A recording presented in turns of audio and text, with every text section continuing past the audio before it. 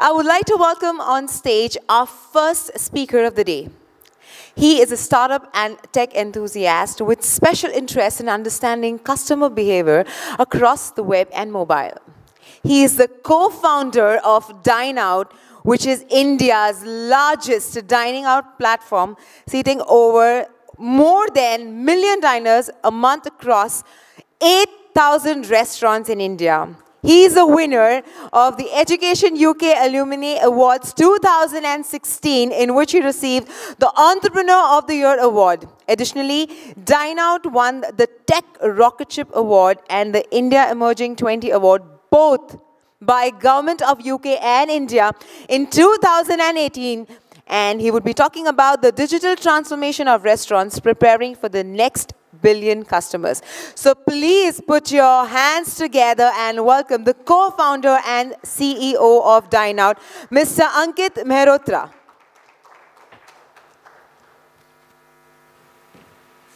Hi everyone. Good morning. It's a pleasure to be here. As introduced, I'm Ankit Mehrotra, co-founder and CEO of DineOut. And today I'm here to talk to you all about the Indian restaurant industry and how the industry is getting up for the next con billion consumers and how the cell phone is actually revol revolutionizing the way people actually dine out.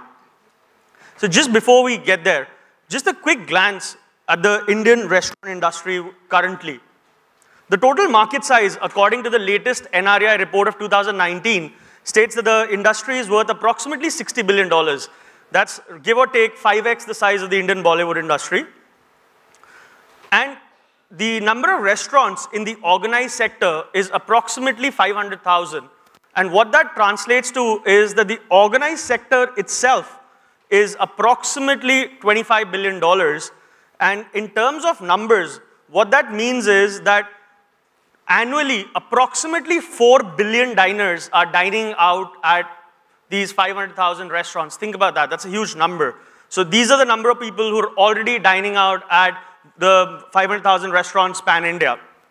However, the biggest challenge that the industry faces is that the restaurants do not recognize who are the diners, what's their spending power. So when you think about the last time you probably went to a restaurant, you know, how often is it that restaurants actually recognize you as a consumer or how many times have you been back at the, or how many times have you visited that restaurant? They don't know anything about you what's the dining out pattern of the consumers, and how do they engage and retain their customers. So the biggest problem the industry faces today is the fact that this restaurant spends the same amount of money to acquire a new customer versus acquiring an existing customers because they do not or they cannot differentiate between a repeat and a first time customer. So just to give you an idea, these are some of the challenges that consumers today face inside the restaurant. So typically when we go to a bar or a, or a night or a, a club or something like that, you know, there's a chaos on the floor. There's always people uh, at the bar trying to get their drinks, trying to order. There's a huge rush. And typically it takes, you know, 10 to 15 minutes to get served, especially on busy weekends uh, or during busy times. And again, the bartenders or the waiters who are serving punch the orders continuously. They actually do not know who's placing what order or whether it's the first time they've placed, what their preferences are, because there's no way to recognize the customer. The second, um, and again, a problem which um, a lot of you would have probably encountered is, you know, when you are seated at a table or when you walk into a busy restaurant, typically you have to wait for the menu to arrive, or once you've had your meal, you have to ask for the check, and sometimes it just takes a lot of time. So the bad customer experience and poor table turnaround times lead to loss of revenue per consumer for the restaurants. And while we talk about um, the restaurant industry and how the industry has evolved over the last few years, the adoption of technology inside the restaurant has definitely sort of increased over the last you know, uh, five odd years. However, the one thing that is not changed inside the restaurant since the time restaurants have started operations, and not just in India, but globally, is that people still continue to order using paper-based menus. And the challenge or the disadvantages of paper-based menus from a restaurant's perspective is that they cannot vary. So static pricing, like, you know, it's a fixed menu. You printed the price, and every time you have to revise the price, you have to reprint the menu again, which is expensive and costs a lot of money and is not easy to do. Secondly, there are no opportunities to cross-sell or upsell particular dishes, high margin items, what the restaurant's specialities are. It all depends upon the waiter or the wait staff and their knowledge. So, you know, that's what happens. And then finally, you know, restaurants typically run out of uh, dishes or ingredients and it's very difficult to sort of remove those certain things from the menu in real time. A typical restaurant menu today, if you would have all, just think about the last time again you went to a restaurant, so has, you know, multiple dishes, on average restaurant menu, a lot of dishes. Whenever someone walks in, the first question they always tend to ask a, uh, the server is, what is good, or what, what do you rec recommend, or what should I have, or what's your specialty? And that's all knowledge driven by the uh, by the wait staff or the person who has knowledge of that. A typical menu today has more than 400 items on the menu. However, the 80-20 rule is nowhere more prevalent than inside the restaurant industry. So what we mean by that is we've seen that 20% of the dishes tend to get ordered 80% of the time, but yet the restaurant has to stock up for the remaining uh, dishes on the menu. It's not possible to recommend high-selling items using technology or real-time. Again, it depends on the knowledge of the person who's serving. And finally, um, across any restaurant menu, typically there are certain dishes which are low-margin items, and there are certain dishes which are high-margin items. But the challenge remains that it's impossible for restaurants to actually push the high-margin items across to the consumers because it's very difficult for someone or the wait, wait staff to know what those dishes are and to remember all of them. And which, so these were the challenges that the restaurant industry had been facing for a long time. And a few years back, um, I would say around 2015, 16, um, across the globe and even to a certain extent in India, we had this whole digital menu um, sort of a, um, revolution where a lot of restaurants started experiment, experimenting with digital menus. So typically, these were actually tablets, either iOS or Android, placed at, at a restaurant. Uh, they, to, they had to buy it from a vendor. And we call that the digital menu 1.0. The challenge, however, was that the adoption was really slow inside the restaurants. And the reason for that was purely because a huge upfront investment was required by the restaurants to purchase tablets, or a restaurant had to purchase 15, 20, 30 odd tablets, and there was a huge capex required. Again, an average restaurant, 40 seater, had to sort of, you know, either purchase 40 tablets, one tablet per table, or, you know, it was very limited to purchase those tablets. So again, cost, charging was an issue, and so was breakage. So, you know, tablets could, would break frequently at restaurants. They would run out of uh, battery quite often because of, again, tablets, they had to be charged overnight. Someone forgot to charge. Uh, then what? And because it was a digital menu, it actually made sense that it had to be integrated with the entire um, end-to-end. Um, -end. So from the, when a person could see the menu, they wanted to be able to order as well. But it was not possible because there were different POS companies out there inside the restaurants, and it was not possible for a typical uh, average digital menu company who was providing to go out and integrate with all these companies across. And finally, what happened was that instead of actually being sort of powering, ordering, and etc., it just became, again, an expensive uh, piece of tech which people would just use to look at the menu, and that's it. Nothing more could be done out of that. However, it's important to understand the thought behind this and what went into this. We all believe and understand and we know that food is a very visual sort of a uh, experience. But what the challenge the industry was facing was that on a paper-based menu, different or uh, dishes at different restaurants could sound the same and it was very, it was not possible for people or consumers to actually imagine what a dish would look like. And as a result of that, people always sort of ordered within a limitation. Okay, so if I know XYZ or if I know this sounds good, I'll order that. Or if I've had this somewhere else, that's what I will order. So people were far less open to experimentation because they did not know what dishes could look like. Again, a huge uh, challenge from the industry perspective. Now, let's look at what's been happening across the globe over the last um, you know, 12 months from a industry, from a restaurant industry perspective. So there's a dynamic pricing why restaurants are using airline tactics. So what this means by that is, and you know, we speak to a lot of restaurateurs in India, and the challenge is that they all agree that a restaurant is typically packed on a Friday evening or a Saturday evening or a Sunday brunch, but it's generally empty during a Monday lunch or a Tuesday lunch. However, if you think about it, why the average or the price of the dish remains the same throughout. So the way restaurants typically operate or incentivize people is they give a discount on weekdays to sort of get more people in. But that's not the way it should be. Restaurateurs want to be able to, and it's their right to be able to charge, let's say, you know, higher amount for a beer on a Friday evening as opposed to a Tuesday afternoon. And every industry, hospitality industry does that. Airlines jack up their prices basis demand. Hotels, rooms increase basis demands. So why can restaurants not price their dishes according to demand and supply. And people across the globe are asking those questions and are doing something about it. It's the same, restaurants with dynamic costings and dynamic menu pricing. How are restaurants cashing in with the best pricing strategy? Again, if a high margin item exists, can restaurants push that out a lot more to consumers, probably offer a higher discount on a dish? So today, again, think about the dining out experience. You know, if we all go to a particular restaurant, we would all, and if the restaurant is having an offer, we would all be entitled for that offer.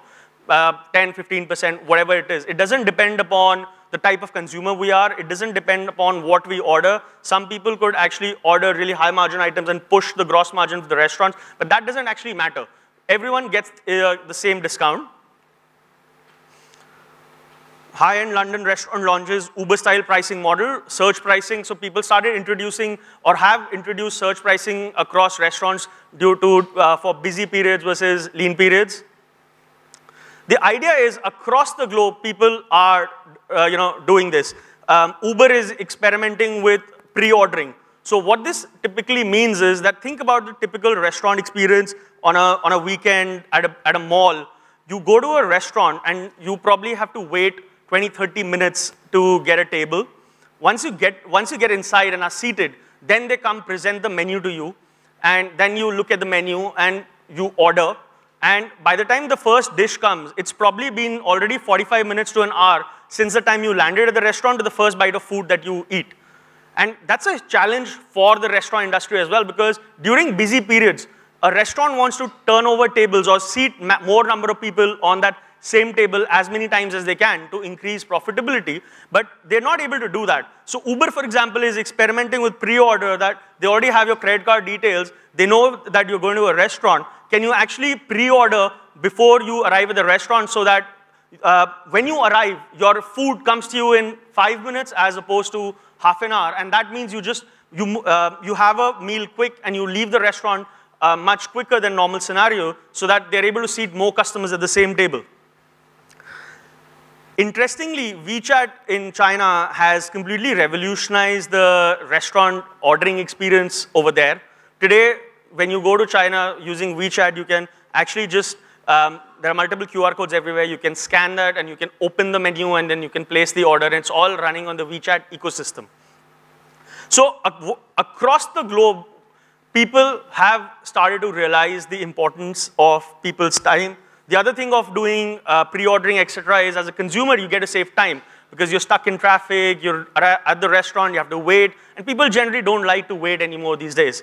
So across the globe, the industry is experimenting with a lot of different things to sort of improve profitability, improve margin, and it's also true because the restaurant industry over the last few years is under a lot of pressure. Um, real estate costs are rising, food costs are increasing, labor costs are rising, but prices have not been, or the prices are not rising in line. Competition is there. We have more and more restaurants shutting shop. So it's important for restaurants to sort of keep up with the time and experiment with a lot of these uh, new uh, ways to get people to order.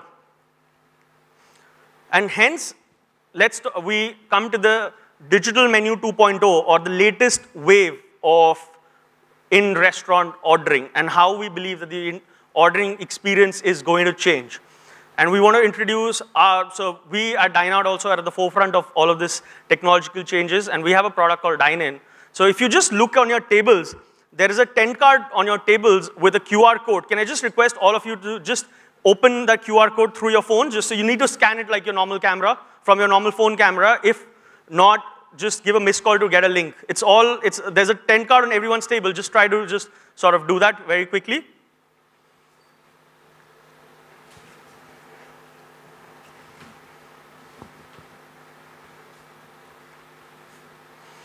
This is, this is the future that we're talking about now. This is what is going to be revolutionizing the restaurant experience. And essentially, what we are trying to do is take the, uh, give the power or enable consumers to use their phones, which already everyone has today, to experience in-restaurant dining at a different level. So this is what we are trying to do. So when you scan the code, you will come to this page, um, which we specially, uh, specifically designed, thinking of it as a restaurant a sort of a scenario, and you get the digital menu. So again, now you, have, you can order from food or drinks. You have images of every single dish out there which a restaurant has. And you have some great videos as well that will sort of start, uh, you know, signature dishes. Chefs can probably use it to sort of, uh, you know, push their signature dishes. Restaurants can use it to push their signature dishes. And all of this is happening through, uh, through, the uh, through technology which is available out there and powered by our phone. So this is the most important thing that we need to realize, right? If you start ordering or if the restaurants can get you to start ordering through their phones, they know who you are as a consumer. Over a period of time, they know what your preferences are, they know what your eating out habits are, they know what sort of consumer you are, and as a result of that, they can provide different offers for different people, they can um, sort of reward their loyal customers in a very different way. And all of this is actually just improving the entire experience inside the restaurants. We, we, everyone has the phones in their hand today. Why not use it? That's the whole, uh, that's the whole question that we put to the industry. So what exactly will the digital menu 2.0 enable consumers and restaurants to do? So there can be short signature videos that can be shown of for every dish. Typically, people can pair restaurants through their uh, through backend and using actual intelligence on what goes with what drink or what dish goes with what dish can actually start pairing and offering intelligent combos in real time. And the idea is that basis my dining hour or my ordering pattern, I should be shown something else and someone else should be shown something else. So we bring the actual recommendation of what's good or what's great at the restaurant and what you should have individualized to every consumer. And there can be multiple offers that can be run um, which are completely customizable basis diners. So again, why should every single consumer get the, get the same offer? Why can someone not be treated differently than the others? And because it's now completely digital, restaurants can choose to sort of vary the pricing of dishes on different days of the week, uh, different times of the day. During busy times, they can charge uh, a slight premium, etc. And because it's all actually there, uh, there on the menu, consumers um, you know, are paying for what they see. So in a consumer's mind as well, um, there's nothing that you know, I'm being charged more or anything. That's the price at that particular point in time. And think of it, right? We're already doing that for airlines and hotels and cabs everywhere. So why not inside the restaurants? So customer typically browses through the digital menu. The menu recommends what's good and what goes well with selected foods. Customer places order and it goes to the backend and it put, goes directly to the POS. So what are the benefits to the diner of using this technology like this? So they can start ordering as soon as they get seated or even before they get seated because now as soon as you walk into the restaurant, you, you can have a QR code which you scan and you see the menu. So you don't have to tip, wait, at, sit at the table and wait for the, uh, waiter to get the menu to you. People can now start seeing ingredient warnings, preparation times, calories, etc., which the restaurants can choose to sort of provide. And again, to answer that age-old question of what is good and what is good at your restaurant, people can recognize the popular dishes at the restaurants. Uh, there are like buttons there. There's a probability uh, function there where X dish is ordered by 20% of the customers or 80% of the customers. And we're also uh, doing sort of complete um, AR where consumers can actually see 3D images of their dish, of certain dishes. Consumers can see um, the menu in multiple languages. You know, so typically the challenge always remains, and this is more, so we're working with a lot of restaurants outside India as well. And this is a challenge that we see where you have, you know, uh, Arabic support or French support. So the same menu can now be displayed in different languages. And restaurants can use it, or the consumers can sort of see what's special at the restaurant, chef's menu, etc. And it's all happening on your phones anyways, right? So there's no additional cost involved to anyone, um, for anyone to do this. And obviously there are multiple benefits for the restaurants. So it leads to increase in revenue by being able to turn around tables faster, by cross-selling and upselling using AI, um, reducing costs and improving efficiency as well. So labor costs can be reduced. Think about you know, what we mean by that is typically when you go to a restaurant, you call the waiter for the menu, then you call him to place the order, then you call him if you want to add something else to the order, then you call him for the check. Now, all of these things can actually happen real time on your phones. So the back and forth gets reduced. And again, there's a lot of AI and analytics and data that is being sort of done on this, which, which can be used by restaurants to further design their menus, improve their menus, high margin items. So there are, the use cases are completely, are endless. So our vision of how restaurants will operate in 2021 is very simple. You know, you walk into a bar and instead of going directly to the counter and waiting to place your order, you, you scan a code, you, uh, the menu comes on your phone, you order, you place your order, and all you have to do is go collect it at the, at the uh, bar counters. You're, you're not trying to push in through the crowd, trying to get the bar, uh, bartender's attention, and then placing your order. And that just means that from a revenue perspective as well, restaurants earn a lot more money because think about it, right? The last time I went out with a few of my friends, I was in the mood to have a good time, and I wanted to order probably three or four or five rounds of drinks. But because of the time it takes to sort of order and get my drinks, we probably end the, end the night so earlier because instead of the four rounds, we end up having two or three rounds. So with this, without any intervention, you can order a lot more and a lot faster, and it'll come to you a lot faster. And what this also means is that if you're, for example, in a mall and there's a waiting outside, you can actually get in the queue and you can look at the menu and you can place your order so that once you get seated, the food comes to you in five minutes or 10 minutes as opposed to you going through the entire process. So it just uh, means that you as a consumer save time, the restaurants reduce the table turnaround time and seat more people. But these are not the only use cases that it's limited to. And this is, again, an Indian perspective and a global perspective. Um, stadiums or concerts or events. So I don't know if have, any of you ever be like to a, a packed concert or a football match or anything outside India or even in India. The challenge is that let's talk about a football match, right? There's a 45 minute first half and there's a 15 minute break, and everyone tries to order at, during that time. Or even at concerts, you're all trying to order at the same time. But using this technology, you can actually, the, uh, the venues and all can plan a lot of their ordering. Customers can enter seat numbers, you can see the menu before. And it just means that the venues are also able to sort of plan better in terms of what, um, what their expectation in terms of dishes sold, etc. is. And it just reduces queues overall everywhere and builds in a lot of efficiency. And then the final piece, which is really um, important from, uh, from a marketer's point of view, is the fact that this provides a great way for brands to engage with consumers. So for example, if you're ordering something, you can contextually have the ad of Pepsi there. So you, brands can push their own sort of messages or ads. Why don't you order, have this? You can have pairings from alcohol companies, from FM, FMCG companies. And in fact, we all know discounts, everyone loves discounts. But the fact is, now can restaurants shift that onus of discounts from their head to maybe someone else. So if you want a 10% discount, why don't you watch this ad from, from an XYZ uh, company? And they are the ones sponsoring that ad instead of the restaurants. And there are multiple ways this can be done.